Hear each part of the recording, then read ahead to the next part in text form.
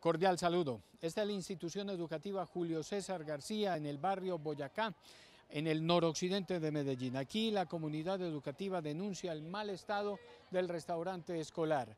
Se había construido un techo nuevo para reparar las goteras que tenía el restaurante escolar, sin embargo, este techo entregado apenas en abril con dinero de presupuesto participativo está en peor estado que el viejo.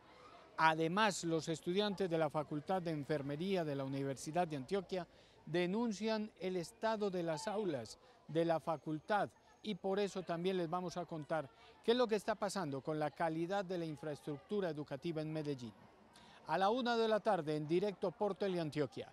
Mientras tanto, siga conectado con nosotros en www.h3n.com.